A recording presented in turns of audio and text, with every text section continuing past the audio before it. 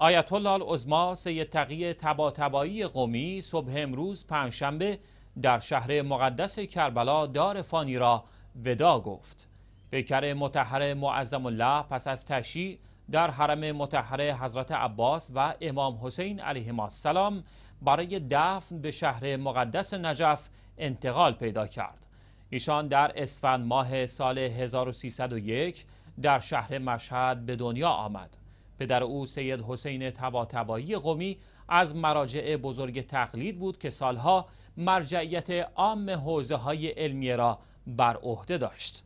آیت الله العظما تباتبایی قومی مقدمات دروس حوزه را نزد پدر خود فرا گرفت و سپس به همراه پدر به کربلا و نجف رفت.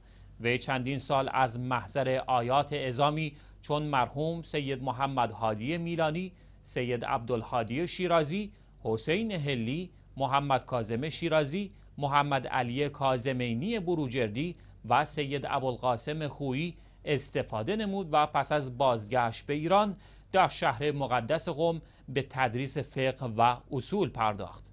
معظم الله از مدافعان سرسخت ولایت و شاعر مقدس حسینی بود و در این راه خاطرات چشمگیری را در ذهن جامعه شیعی نهاد.